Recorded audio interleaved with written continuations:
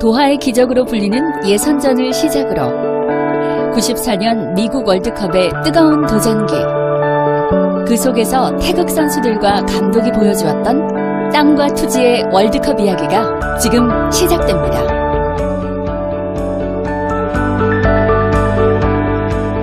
경기도 분당구의 한 아파트.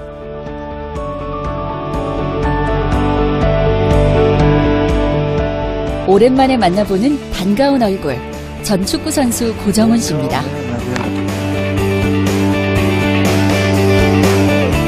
1990년대 적토마로 불리며 국내 최고 왼쪽 측면 공격수로 명성을 떨쳤던 전 축구 선수 고정훈.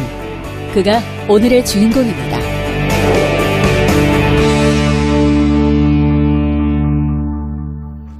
그 저한테는 아주 특별한 분이고요. 또 그 제가 축구 선수 하면서 처음으로 저한테 그 태극마크를 달게 해주셨던 은사님을 뵈러 지금 가려고 하고 있습니다. 그 은사님은 어떤 분이신지 좀 설명해 주실 수 있을까요? 글쎄요, 뭐 가서 제가 음, 뭐 인사도 드리고 그러면서 제가 말씀을 드릴게요. 고정훈 해설위원이 마음속에 고이 간직했던 그 특별한 인연은 누구일까요?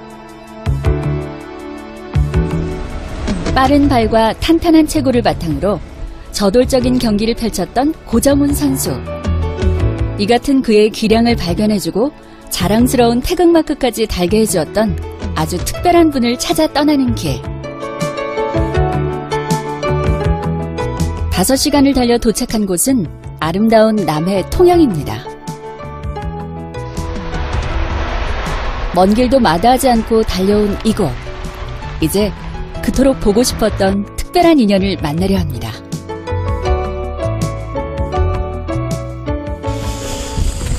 결국은 고향으로 나오셔가지고 또 아이들 가르치고 있구만. 네, 오늘 만나시는 분이 누구신지 얘기를 좀 해주시면. 글쎄요, 이제 여기까지 왔는데 또 얘기를 안 하면 혼나겠지. 음, 그 94년도 미국 월드컵 때 감독이셨던 김호 감독님을 제가 만나러 왔어요. 고정훈 해설위원과의 특별한 인연. 바로 김호 전 국가대표 감독입니다. 현재 고향 통영으로 내려와 총 감독으로서 유소년 축구 꿈나무를 키우는 일을 하고 있는 김호 감독. 국가대표 및 K리그 감독 시절 그는 철저한 분석력을 갖춘 전략가로 축구 거장이라 불리는 감독이었습니다. 선생님! 잘 있었나? 예, 예. 반갑다. 예. 여기까지 왔네. 예.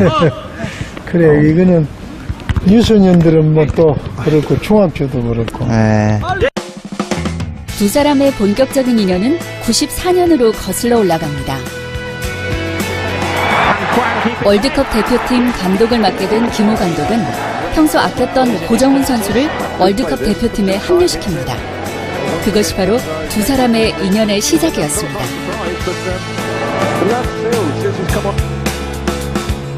김호 감독이 감독 생활을 마치고 고향으로 돌아올 결심을 하게 된 것은 오래전 그가 자신과 한 약속 때문이었습니다.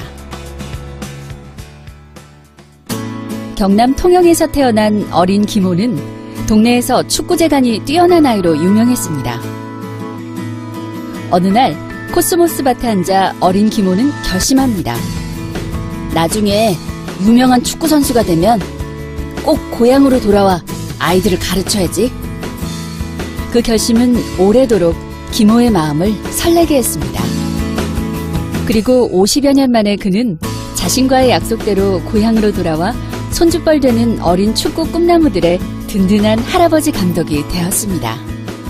시골은 보면 어, 좀 정도 있고 또 얘들이 갈 길이 어려울 때 도와주는 재미도 있고 뭐 그런 것 같아. 근데 이제 니도 참 잘 이제 해서 큰 어떤 지도자가 되기를 바래. 예.